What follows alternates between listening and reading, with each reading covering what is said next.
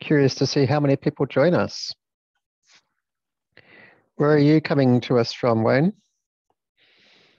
I'm in the U.S. in uh, New Jersey, so uh, if there's any explosions in the background while I'm talking, it's because it's the Fourth of July.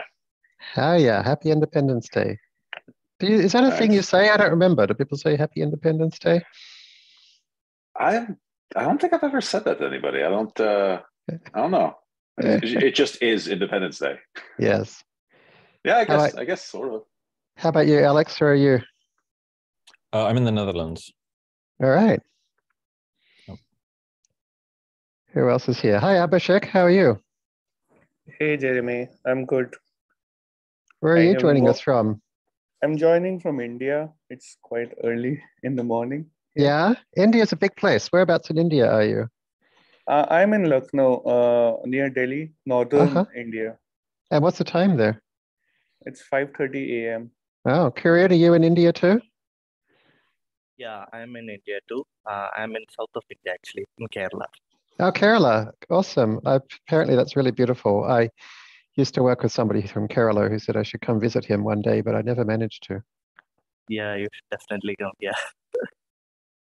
I'm sure I'd love it. It's like the one country I've always wanted to visit, but yet as but haven't yet. Oh, I see. I think you should come to any conferences or something like that. Yeah. And so I want you to try aloo parathas in Delhi, Jeremy, because yeah. I know that's the Indian bread you like. Yeah. Yeah, there's a lot of Indian foods I like. We do get some pretty decent dosa near here, which is nice. We didn't used to, but now we do. But I'm sure it's nowhere near as good as the dosa that you get in India. I don't think I've ever had an Indian meal I didn't like. I see Wasim is here as well. Thanks for all your help recently, Wasim.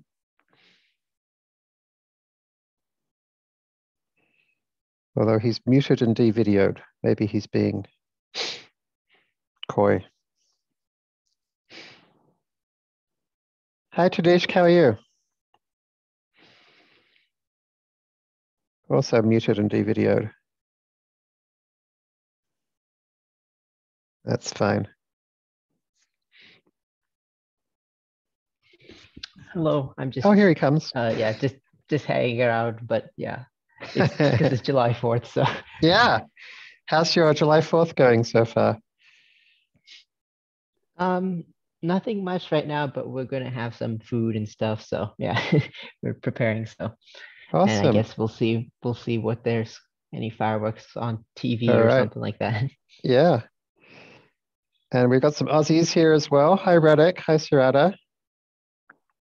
Hello, hello. Hello, hello. How are you doing, Radek? Good, good. Uh, excited for the session. All right. Well, let's get started, shall we? Is is anybody here had any experience with APL or J or K?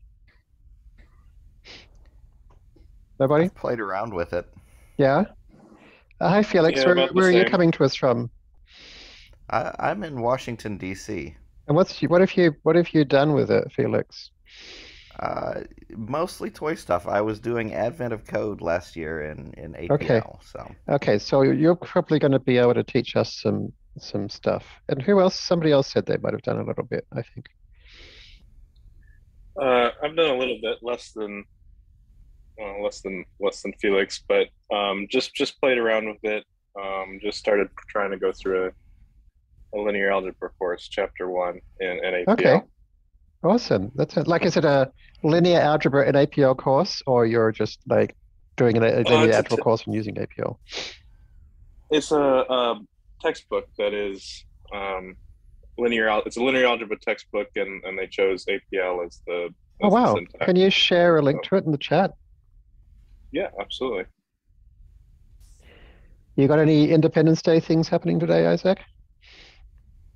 Um, just this call. I'm sure there'll be fireworks going on sometime, but I don't, I don't know that we're going to go watch them or anything. All right. Well, I'm glad there's some folks who hopefully can help uh, help us figure things out because I've got very I, I've got very little background in this other than teaching my kids some math using APL and a little bit of playing around with J. I was actually on the uh, Arraycast podcast this morning, so uh, lots of APL things happening in my life today. Applied linear algebra with APL. All right, I guess I should share my screen so that people can show what you're sharing. Share screen. Share. So this is one of the things I like about APL is that there is, you know, a bunch of books and whatever around that use APL to teach other things. Well, let us know how it goes. I've never heard of this one.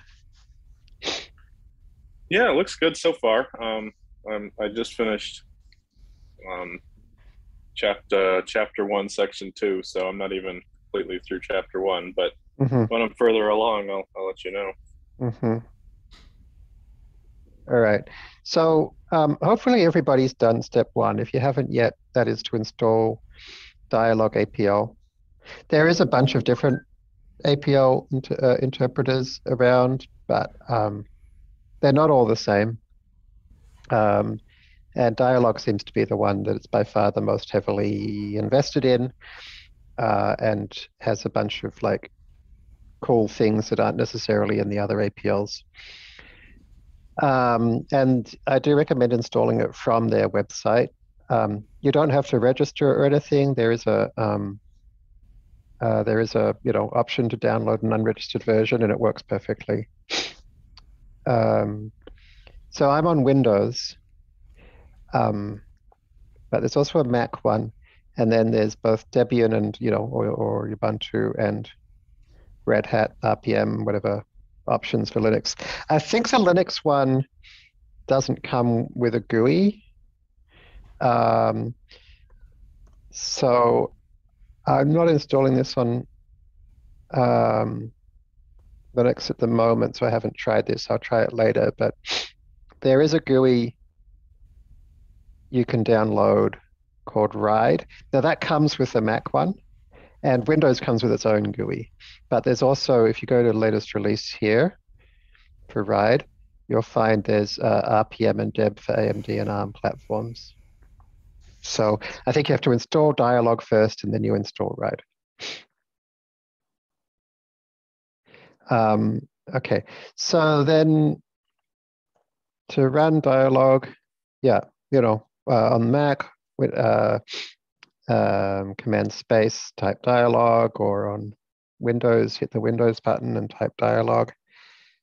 Um, now, one thing I found a little hard to find, which is actually pretty obvious now, I know where it is, is increasing the font size. You just do it in the toolbar up here like so.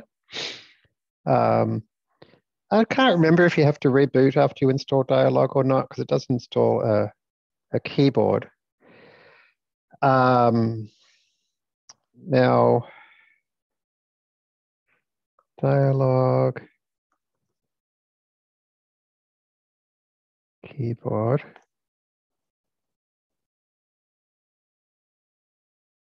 Yeah, APL fonts and keyboards. So if you scroll down to the bottom here, it's a little hard to see actually, but there's actually different tabs here. Um, so on Windows, you should find that you can, um, so there's a language bar with all the different glyphs, right? But you can also hold down Control and press a keyboard button to get a glyph. So there's Control A, Control J, control hyphen. On Mac, it's you press back tick, this button, and then press the letter. Um, so what I did is there's a few ways you can do this. Um, on on Windows, I can't remember if Mac does this as well. If you wave your mouse over something in the um, toolbar, it tells you what button to press to get it. Um, and then the other thing I did was I just Googled for APL keyboard. And I just printed out, oh, that doesn't work because of my background thing. Hang on. Uh, video, unblur. I printed out just a picture of an APL keyboard, uh, which honestly I haven't referred to too much because the um, the one in the IDE works so right. So it looks like on Mac OS we have that uh, little tooltip thing showing up too. Oh, okay. And you know, I don't know like if it's any use or not, but if you want to in Windows, you can use backtick instead. If you go to Unicode input, you can um, you can have it activate a keyboard when you start, which obviously you'd pick APL, and then you can turn on um, maybe we have to press this to check. Oh, it's weird. Hang on. Um, well, this is working before I was able to turn on backtick, but for some reason it's not working.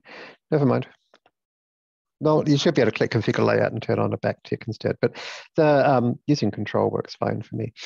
Now in um, Mac and Windows, the, the, the backtick or control keys will just automatically work when you go into the app. If I run something else, um, Jeremy, can you share screen? Oh, yeah, yeah. Sorry. Uh, share screen. Okay. Um, thanks for reminding me, Sarada. Okay, so that's the control whatever's. Um, and then um, if I go into some other dialog box or some other program, then the control buttons don't work anymore. They just get my normal like control A selects all. Um, if you want in Windows, if you want to use the Dyalog keyboard elsewhere, you can hold down the Windows button and press space, and it'll pop up a list, and keep holding down Windows. It'll pop up a list of different keyboards, and you can just choose Dyalog APL keyboard. And so now if I start typing control, it, I get the, the Dyalog ones here. So if you're trying to use like, if you try to select something and then try to copy it with like control C and it doesn't work, that might be because you actually have the Dyalog keyboard running. So then you'll just have to hold down Windows and press space to go back to a non-APL keyboard.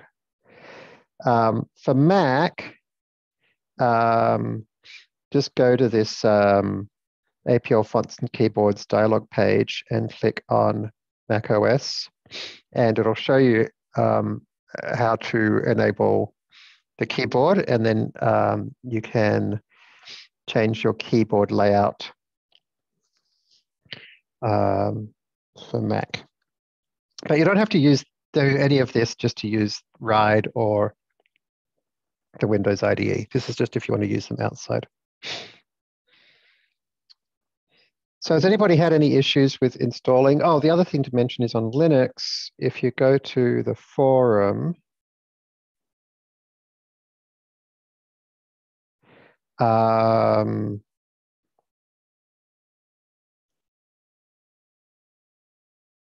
there is a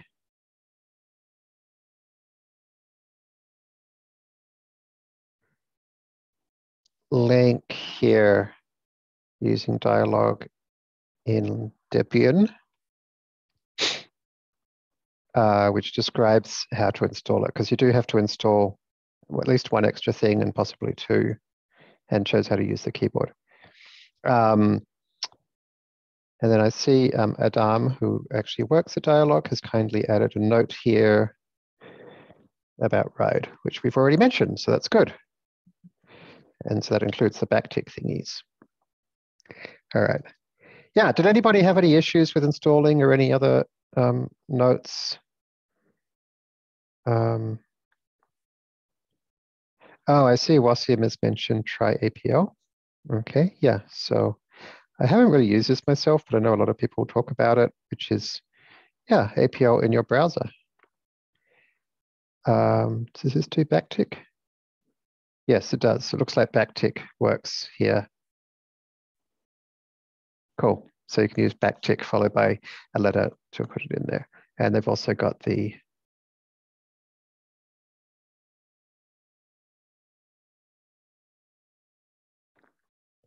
What's this? Tab. Seven equals tab. Seven, seven, tab. S. Oh, I see. There's multiple ways to type this. So prefix S, I think, means backtick S. Yes. Okay, so that's how you can read those little thingies, or you can just click on them. All right. Is everybody able to run APL and type stuff okay? Just yell if you can't. Otherwise, we'll keep moving on. I guess with APL, it's not like the conciseness and expressiveness of it means that it's not like you're typing at 100 words per minute anyway. So right, yeah, yeah, it's more like uh, typing a math equation or something, I suppose. Um, yeah. Charles says, going to an obscure programming language course at 2 a.m. What am I doing with my life? We can't help you with that, Charles, because we're also all here. Some of some some of whom are here on Independence Day. So everybody here will not be able to empathize with any troubles you're having. Sorry. Um, all right. So, okay, we're making progress. So I'm going to run Dyalog. Increase the font size. And I don't know if there's a way to turn these off by default, but you can get a bit more space back by clicking on these little various X's around the place. I do feel like it would be nice to get some more space by removing the word language bar above the language bar. Not showing that much, not much doing much for us, but so be it. All right, so uh, show you, I, am not an expert in this um, IDE, but um, it kind of behaves like a normal REPL. So I can type numbers. I can type expressions.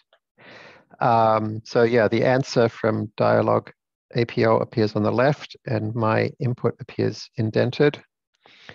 Um, something it took me a while to realize is that you can click on an earlier one with your mouse or, or up, go up to it and then, um, you know, edit it. And if I press enter, it actually, this one goes back to what it used to say, and then this, and it'll put my new thing on a new line, which is actually really, really helpful. So I think that's my number one uh, uh, tip that I've found so far. Uh, you can also bind uh, scrolling through history uh, to a hotkey. Yes, you can. And I thought it might have even have come with one. I can't find anything that it's working for. Um, Dyalog, APL, keyboard history. Hmm. No. All right. Uh, how do you? All right. How do you do that? Is it configure? Preferences. Uh, yeah, okay. Called configure in my one. Probably keyboard shortcuts. Yes, and it is called backward or undo, I believe. Backward or undo. Control Shift BK. Back. Control Shift backspace. Control Shift backspace. There we go. Nice. Okay.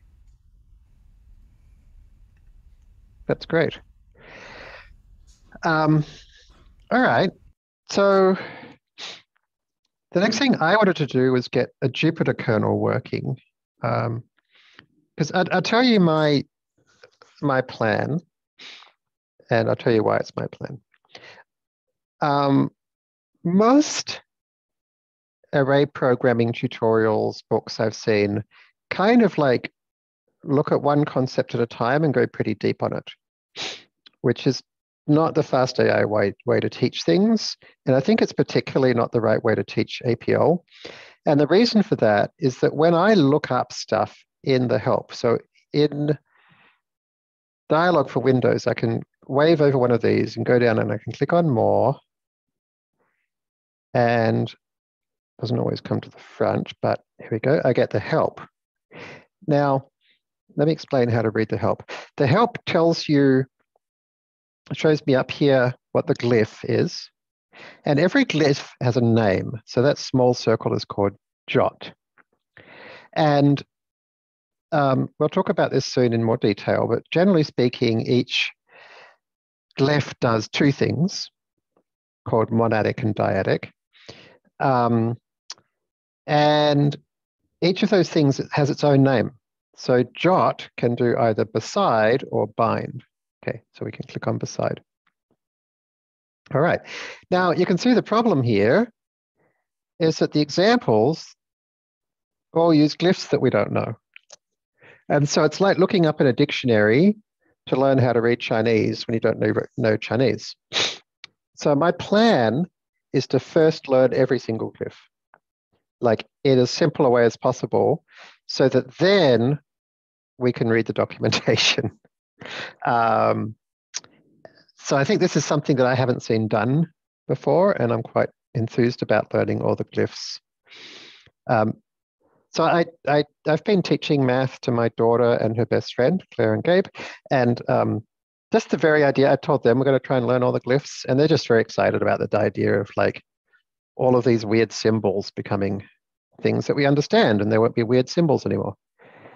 So for me, most of these are still weird symbols, to be clear. Um, but yeah, I don't know. I, like a lot of them probably won't take long to learn. Like obviously these plus minus times divide, and these equals, you know. So quite a few of them. So we'll start with the ones that we can recognize. So the yeah, one reason I want to get Jupyter going is I want to be able to start writing blog posts about APL.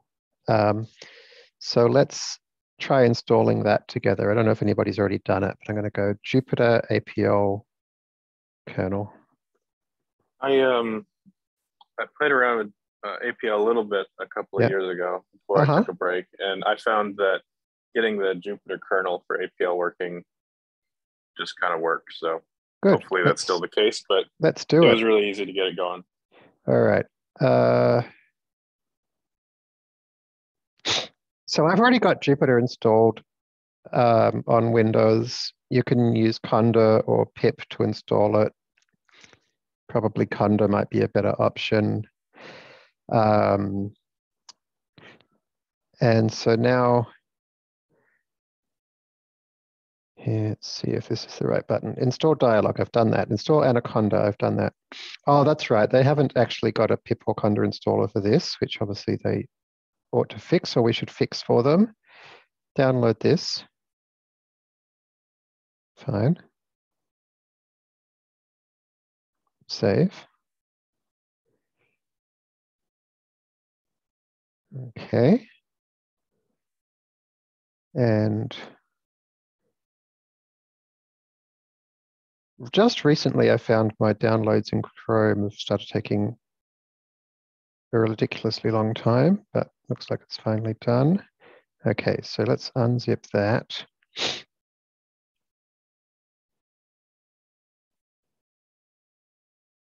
Okay, and then it's set to run install.bat.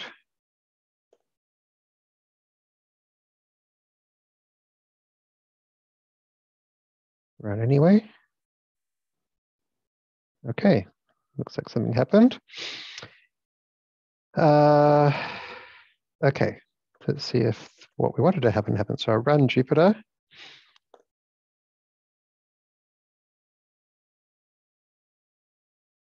Okay, and new, oh, Dyalog. Go, baby, go. So now I'm going to use Windows. Oh, uh, allow it to communicate. That's fine. Okay, so I'm probably going to have to hit Windows space to choose the Dyalog keyboard. And okay, cool. So one, one plus one. All right. You're right, Isaac. That was pretty easy.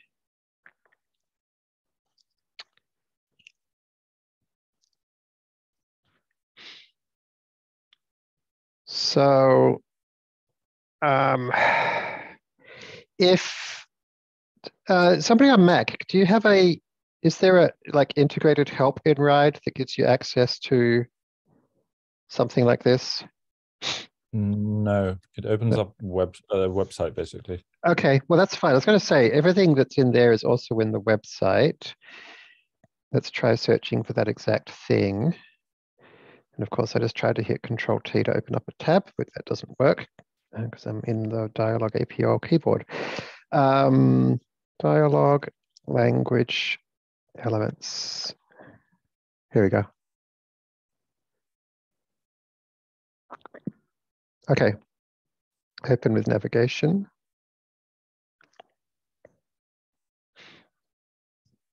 I guess I don't really need the navigation. All right. So I feel like they're, at least these are not in a bad order to learn about them. So let's start with plus.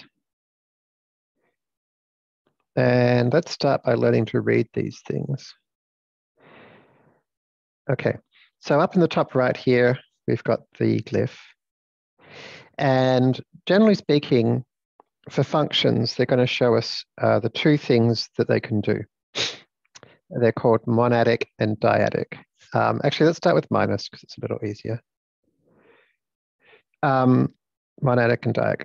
Monadic means that you're going to put something only on the right-hand side. Like, for example, neg negate 3. That is the monadic form. If you've heard the word monad before in stuff like Haskell, this is not that. This simply means a function that takes one argument. And in APL, you don't write functions like that. Instead, you write your argument after if you have one argument. And if there are two arguments, you can have a second argument before. So it looks more like math than normal computing. So monadic means one argument. Um, you'll see here that the negate function, when applied to three, returns like upper hyphen three. This upper hyphen is control two. I'm going to say control, but for, for Mac users, that means backtick, control two. And this is how you write a minus sign in APL, meaning the constant number negative two. So these are two different things, right? This is a function that negates its argument. This is part of a numeric literal constant, which is the negative number. Now, it so happens that the negated function, negate function of applied to three and the number negative three are the same thing, but they're different, conceptually different. This is, this is a single number. This is a function. Um, okay, so monadic Monadic means it takes one argument, and the argument goes on the right. Does that make sense so far? Please tell me if it doesn't. Otherwise, we're going to keep looking at the help because I want to show you how I look at the help.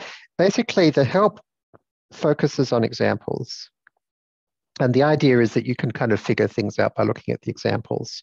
So if you copy the indented bit of the example and paste it, you should get the same result. Now, this looks pretty similar to the example we just gave, but you'll see that they've got multiple numbers, multiple numbers on the right. They've got 3.2, negative 7, and 0. Um, this is how you create um, a one-dimensional array or in kind of PyTorch speak, a rank one tensor, or in math speak, a vector. Um, you just chuck spaces between them, between numbers. So there's some controversy about whether this is accurate, but I'm just going to use the word array for everything. So this is, I'm going to call this, for example, the number three, which we call a scalar. I'm going to call a, a rank zero array. Here's a rank one array. Um, so when I say array, I'm going to include scalars, okay? So in the minus 3.2 negate 7, 0. Yeah. Yes. What is this? It's okay. So that is a list, or this is an array huh? containing the numbers 3.2, negative 7, and 0. And this is the function that you're applying to it. The function. And okay. so this is the result. Ah, got it. Okay, so the result is it's like NumPy. It's applying the function to every element of the array. So the negative function, negate function applied to 3.2 is negative 3.2. Applied to negative 7 is 7, and applied to 0 is 0. So it is a neg negate function, it's not the minus. Correct. This is this is the minus that's part of a, of a literal number. This is the negate function. All right, but, but it's uh, when you were typing this, did you do control two or did you do minus? The, no, the this is minus. This is minus. This so is minus. minus on the keyboard is the dash. Yes. The control two is for the special negative number symbol.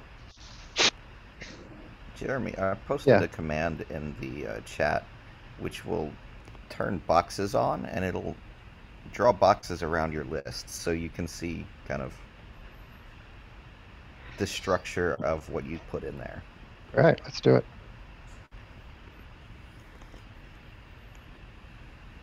Copy. Do you know a way to do this automatically, by the way, when you start APL? Because it feels like I, what I always want. I, I do not. There we go. Okay, now I can't quite remember how to read these weird arrow things, but I guess we'll figure it out as we go. But this is basically saying this is, I think this arrow is saying that there is a a dimension here. So this is a one-dimensional correct array. And I don't know what the squiggle means. Um, Jeremy, I tried yeah. this boxing. Um, so we, you go to the session, next to session, there's a one and two. They have a boxes there. No, not this one. Underneath, yeah. This one is also turned on the box. Okay, and does that do the max thingy or? Oh, uh, what that mean? Uh, there's a style equals max. So like, I don't know. Uh, you can set style to min, and it will draw fewer things. Okay. So if you just are dealing with larger arrays. Okay. so I don't know if this one is the min or the max, but that's really useful, Sarada. Thank you. Well spotted. Yeah, they're just a, a box uh, for everything. Hmm. Yeah, so about the squiggle, I, I think there is a difference between a list mm. and a two dimensional array that's three columns in one row. Yes, absolutely. Um, when you say a list, I think you mean a rank one array or a vector. Yes. Yeah. Yeah. okay. Um, we'll come back to that. So if you do nested lists, you can kind of see what the boxes are, are really about. Yeah. Well, well, well. Let's leave that for now. Um, great. So I think we've got enough now to understand the first piece of documentation. So that's good. Um, so let's um, pop this in a separate window. Um, all right, so um, type um, numbers.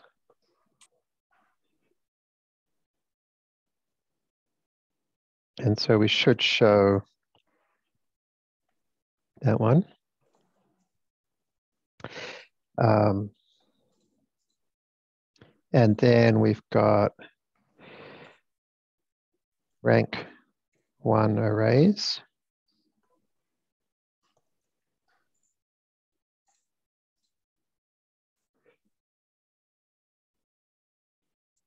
Okay, and then we've got um, monadic minus. And I guess we could link that to the documentation. Okay, so now if I click on negate, we're going to get more information about monadic minus, right? And so notice that hyphen in APL is pronounced minus sign or bar. I'm not used to seeing things with two names. They normally just have one. Um, and it can mean two things, and the monadic version is called negate. So when people talk about like read out APL expressions, they will often refer to the names of them. So they'll say negate. Um, now, this one's interesting. Copy. Um, let's pop it actually in here. Paste. Now notice here, this does not mean minus 4 to 0. This means minus of that. Uh, I know there's no space after the minus, but space doesn't have meaning after a function. So that's why 2 is being negated and negative 3 is being negated because the minus refers to the whole thing. Uh, it would be more obvious if there was a space here. Now, if we had written negative 4, that would be something else entirely. That would be the number negative 4, then the number 2, then the number 0. But minus is a function, and it applies to its whole right-hand side, and its whole right-hand side is a rank 1 array. And that's why we get 2 goes to negative 2, negative 3 goes to 3, and so forth. Does that make sense?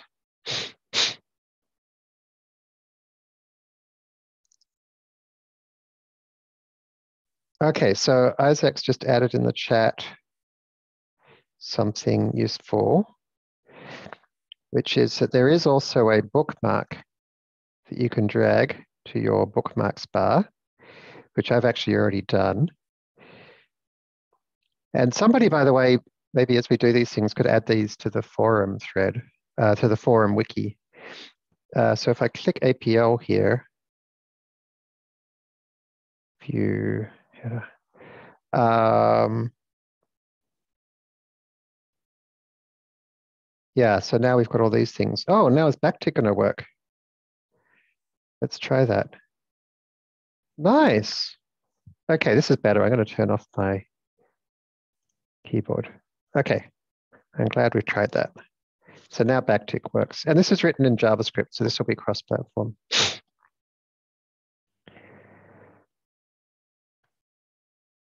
All right. So maybe we should show these examples. Okay. Minus applied to four, minus applied to negative four.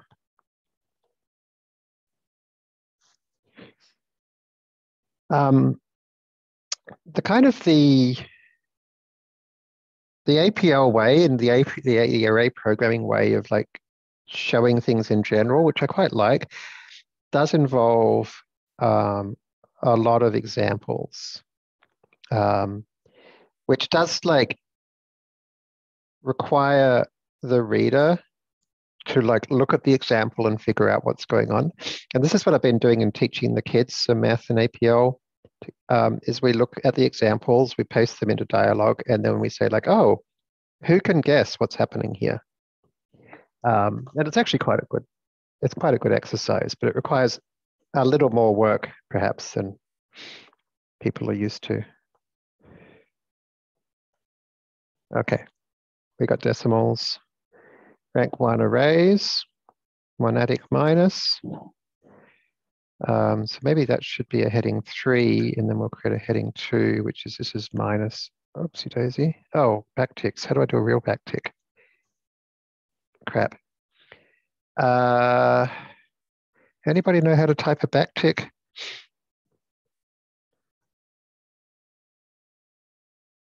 You could temporarily close the JavaScript bar, I guess. I could. Yeah. I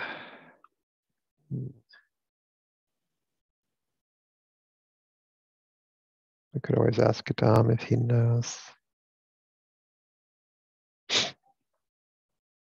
I was hoping the backtick backtick would give us what we needed.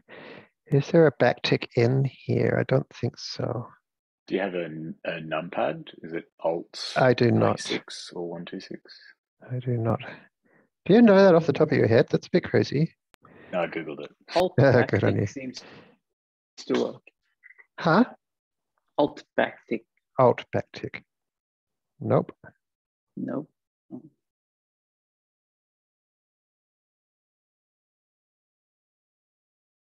Whoa, what just happened? Whoa, that's a weird thing. I, somehow I just pressed a button that put up a terminal. I was What? able to do option backtick on on Mac. hold option and then backtick on Mac, Yeah. and that gave me a backtick with an underline, and if I hit enter, it turned into a regular backtick. Uh, okay.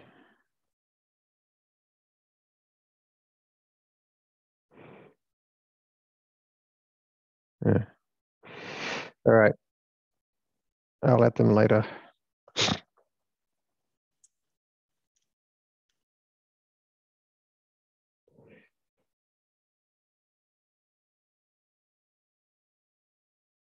Okay, so this was called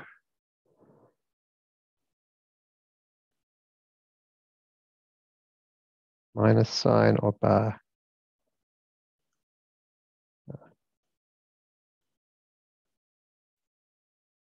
And this was called negate. Okay, so now we can do dyadic. So dyadic means it has two arguments. This is called minus or subtract.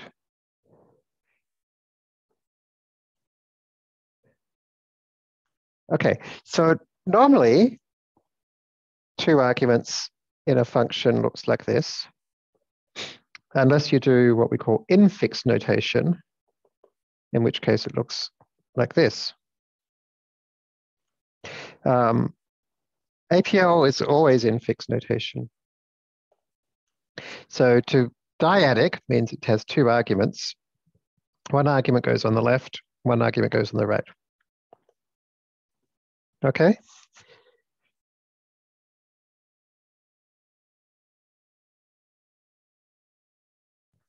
Any questions about dyadic versus monadic? Um, so just like in NumPy, um, you've probably noticed that you can apply a function to an array, and the function is applied to each element of the array. Negative goes of 4, negative of 2, negative of 0, negative of minus 3, negative of minus 5. So we can do the same thing when it's got two arguments. We can have one on the right and then a different argument on the left.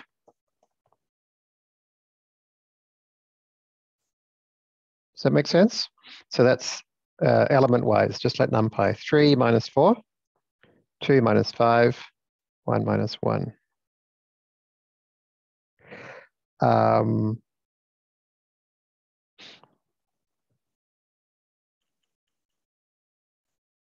this also works, is you can have uh, a rank 1 array minus a scalar, and just like NumPy, it'll broadcast this. So this is 3 minus 1, 2 minus 1, and 1 minus 1. And vice versa.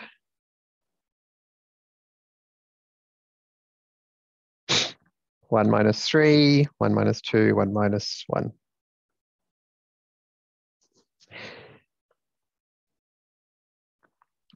Is there Um, much of a yeah. culture of using brackets in this world? To I wouldn't say there's a culture of using parentheses, but I would say there are times you have to use parentheses. Um, I would say I can't imagine anybody would use parentheses around this. Just like in Python, if you were writing, whoopsie daisy, if you were writing 1.5 times 6.2, we know perfectly well that dot binds tighter than times. So in Python, nobody would write this. right? Well, somebody who didn't know that dot binds pilot binds tighter than asterisk would say like, well, this is much clearer, but like, yeah, you know, only the first three times. After that, you know perfectly well that this means 1.5 times 6.2 rather than 1.5 times 6.2. Um, so arrays are everywhere in APL. So the idea of parenthesizing this in such an expression would be weird. And I've never seen that done. Okay. Um, and I guess in general, because the kind of parsing and precedence rules in APL, as you'll discover, are so simple and clear, um, parentheses generally only seem to be used in real code when they're actually necessary rather than just for clarity. Um, I would say in something like C++, we see parentheses used for clarity a lot more because, for example, in C++ or even in Python, the precedence rules are very complicated and few people remember them. And they're easy to misremember. Uh, all right, so I feel like we've probably done our first glyph. So that's cool. Um, so our second glyph we can do will be plus. Um, and dyadic plus is the easy one. So maybe I'll just do some copying and pasting. In fact, that's a good way to get a backtick as I put it in my paste buffer. Haha. All right.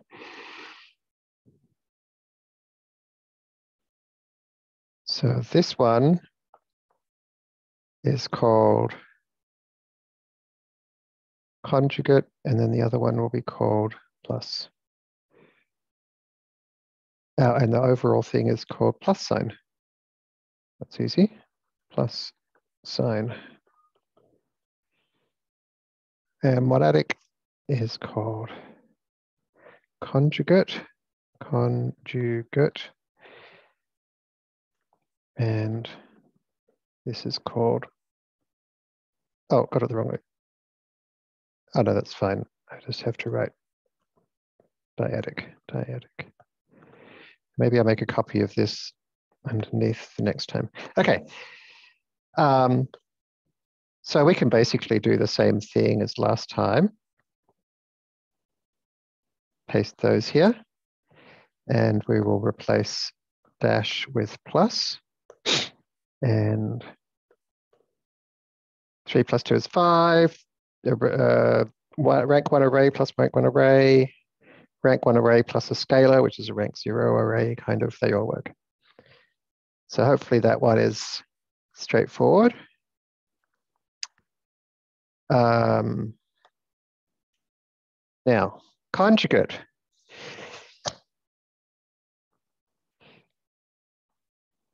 So it's pretty normal in APL to provide to provide a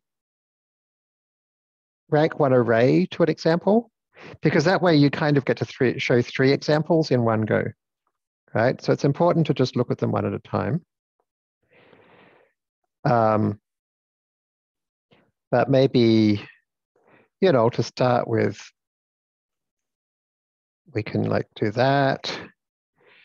But like, we shouldn't need to do this for too long because hopefully we'll get the idea that to read this, it means plus 1.2 plus 0j4 plus minus 5j minus 6, which means I think we need to talk about complex numbers.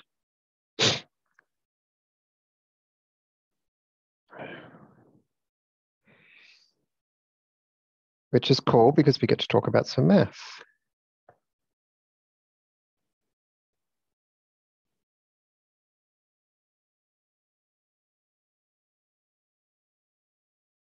All right. So is anybody on the call, and please don't be shy of saying yes, because we're trying to learn math. Is anybody on the call don't know at all what a complex number is? Yep. Me. Yep. Okay, great. So um, have you ever come across the idea that um, the square root of minus 1 is something called i. No, I know that i is a thing, but okay. That is what i is. So basically, the idea is that um, we can um, we can square things, which means multiply by itself. Um,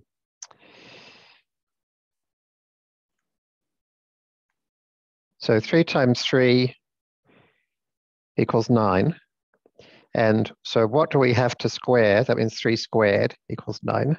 Um, we'll get ahead of ourselves a little bit and uh, no, let's, let's, let's not, let's just do that. Um, so to write squared, we can also say to the power of two. Um, be very careful. This means power of in APL, not times. So there's three squared. Okay, and there's four squared.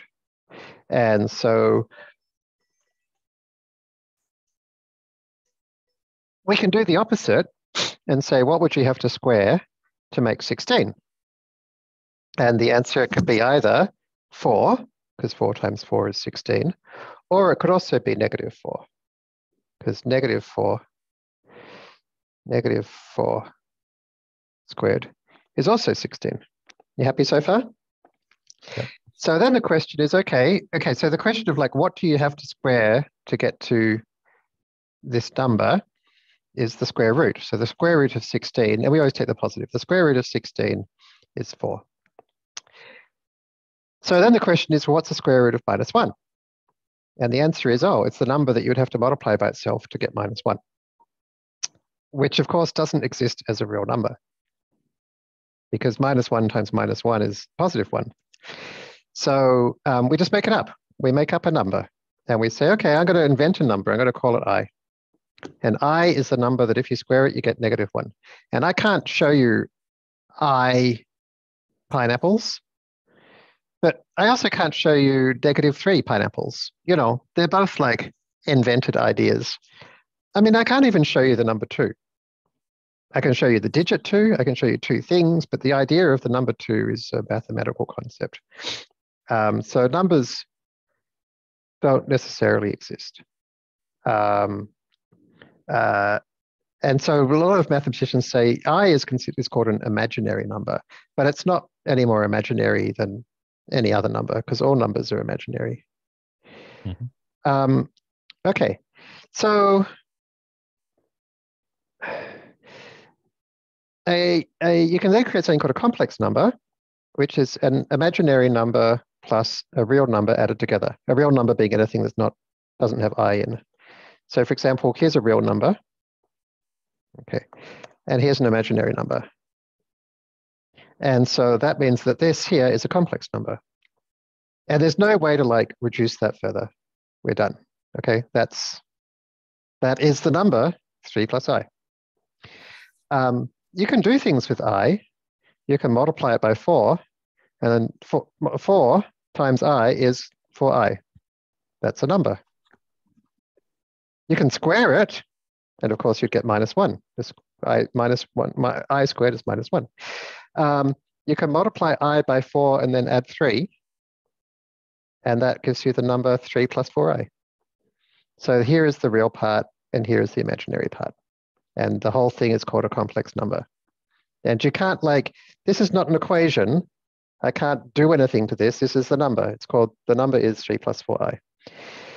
In um, APL, we can write complex numbers in a slightly more concise way, and we write them using a J. On the left-hand side is the real part. On the right-hand side is the imaginary part. So this is 0 plus 4i, also known as 4i. This is negative 5 plus minus 6i, also known as negative 5 minus 6i. Does that make sense? So complex numbers always involve i. There aren't any other mm-hmm. yep. letters. There aren't, there aren't, there's no need for any more. We just need the one extra letter, which is this ability to kind of say like, oh, there's a second bunch of things in the world. And the key reason that complex numbers are really interesting and important is because you take the number line that we all learnt, like my daughter learnt the number line in prep, right? You can move forward along the number line to get bigger numbers and backward to get smaller numbers. And after you go forward, you can then like undo that with negative to go back to where you started. When you use a complex um, complex numbers, you move from a number line to a number plane. And the y-axis represents how many eyes do you have, and the x-axis represents what the real number is. Um, and so then you can graph it on a Cartesian plane.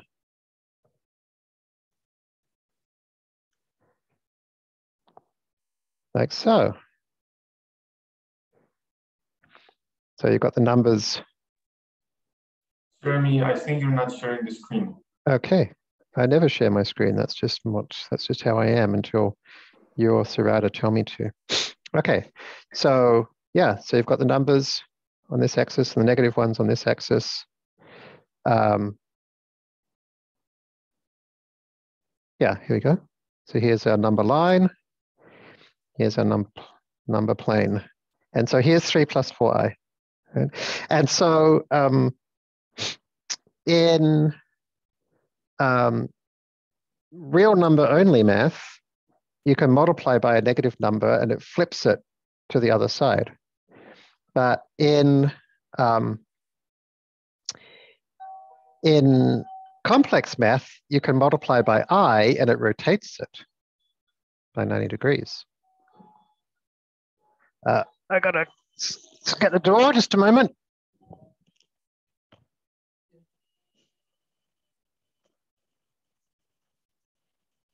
Didn't realize my wife had got home. Okay. So, um, yeah, they you know they're used for a lot of things which um, um,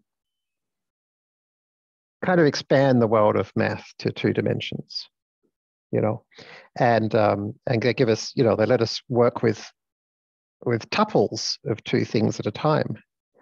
Um, so they yeah they come up a lot in in in real life, and in fact, you know, in in physics, it turns out that our actual real physical world um, operates according to the laws of complex numbers, not real numbers. Um, so they're very real. Um, okay, it sort so, of feels yeah. like. Oh, so, sorry. No, no, no. No, don't. of, it no, please, like I like to chat, so interrupt anytime. Go ahead. Sure. Uh, it kind of feels like a complex number is like a shorthand for representing like a 2D or a two a rank two Hmm. array as Not a rank two array, a rank one array of two items. Yeah. rank, yes. Yeah, because like because you're like using the uh the plane and the um the unit circle and stuff, it feels like you're trying to represent like that second element in that array Hmm. is written in terms of its relation to the first element or something Mhm. like that. hmm Yeah. Yeah. I mean, Oh, it's, hmm. yeah. Um, yeah, I think like getting an intuition for complex numbers is is very interesting, and maybe we'll add like a we should add a forum thread about complex numbers and put some videos there because there's a lot of nice videos about kind of the intuition around this.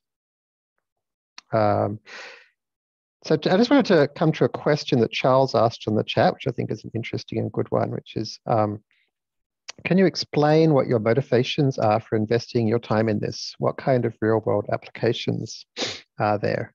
Uh, where this being um, array programming and APL, I guess. Um, so um,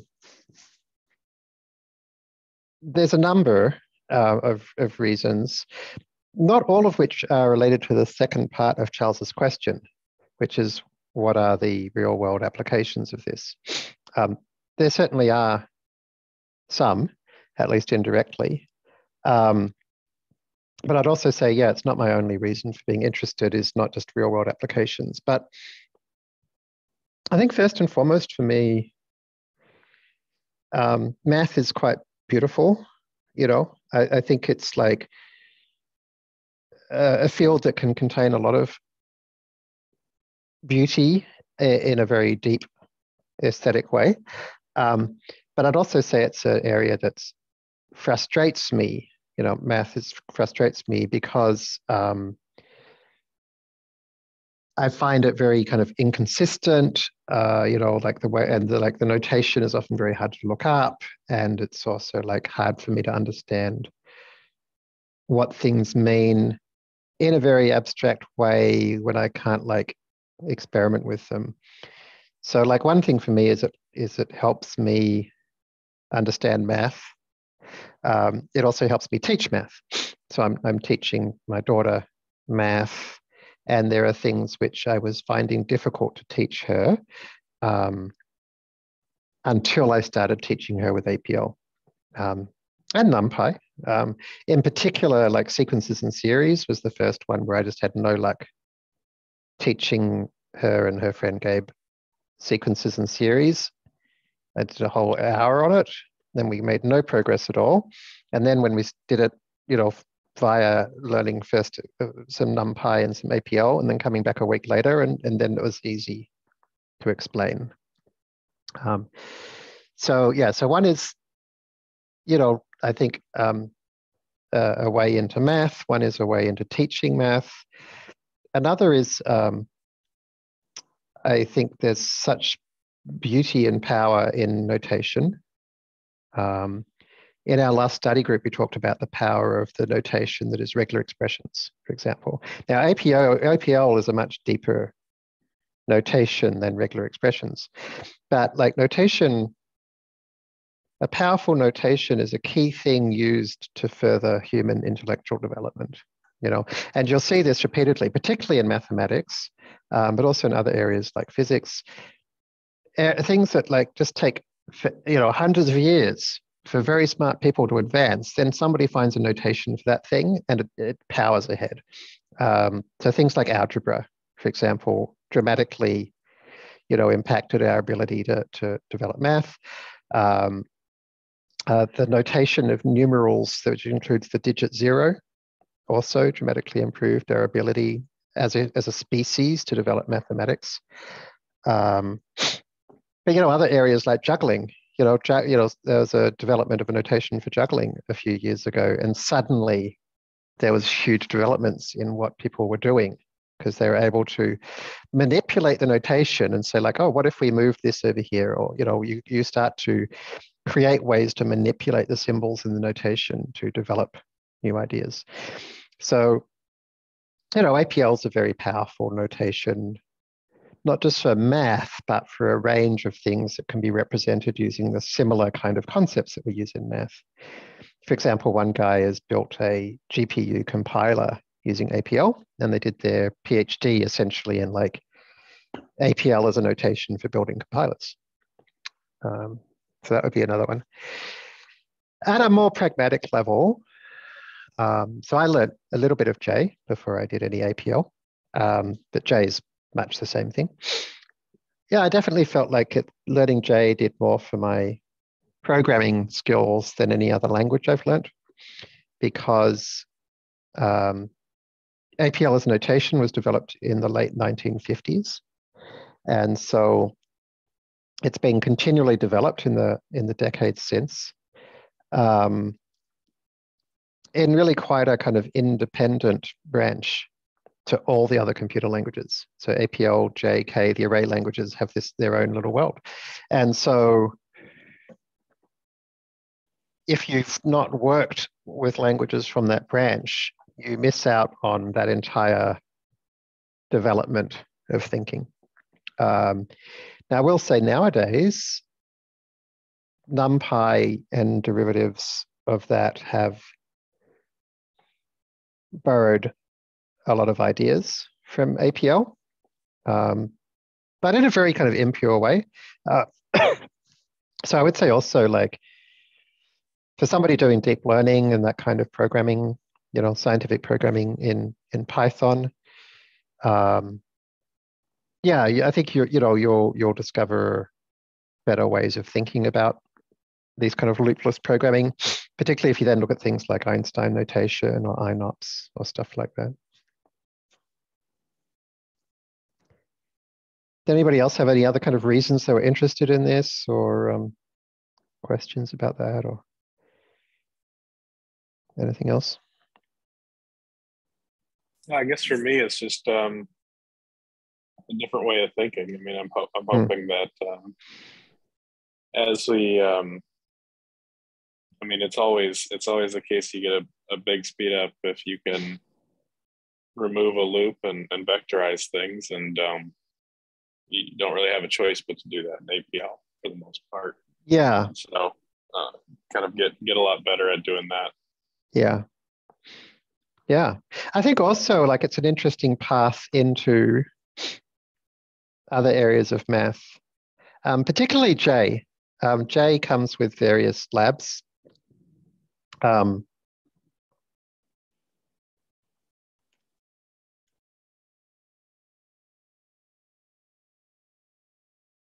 um, which you can run on J. So J is like an APL derivative written by the original author of APL. Um, and yeah, it comes with all these labs which you know are really interestingly kind of thoughtfully put together and basically take you through um,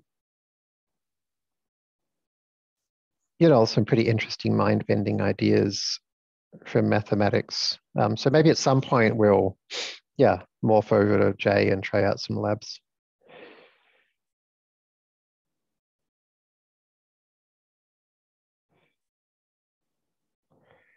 All right. Um, so um, to wrap up today's thing, let's try to finish plus. So um, yeah, so dyadic plus.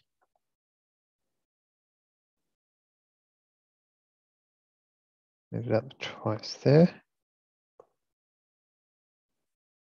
Um, we've You're already not done. sharing your screen. Not sharing my screen, of course. I'm not sharing my screen because I never remember.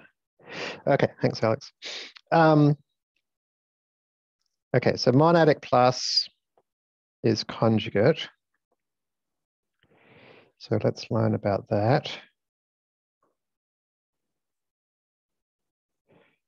Um,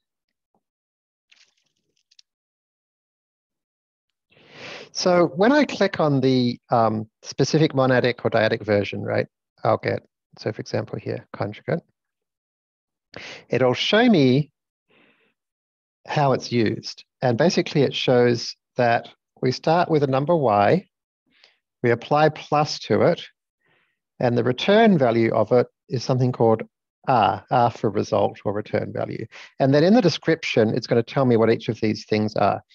So it says here, if y is complex, then R, the result, is y with the imaginary part of all elements negated.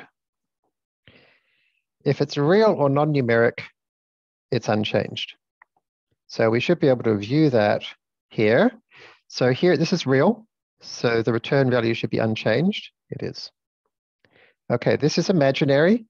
This is complex. The imaginary part is four. So here is the imaginary part negated. Okay, and here is another complex number, and this is the imaginary part, and here that is negated. So if you think about it on the number plane, conjugate flips just like negative does, but negative flips on the real plane, conjugate flips on the imaginary, sorry, negative flips on the real line, uh, conjugate flips on the imaginary line. Um, great. Well, I think we're done here. Um, does anybody have any questions, issues, anything else? Anything you want to make sure we cover next time? Appreciate you guys joining. Um, this is going to be fun. What do we got? 21 participants. That's good. Yep.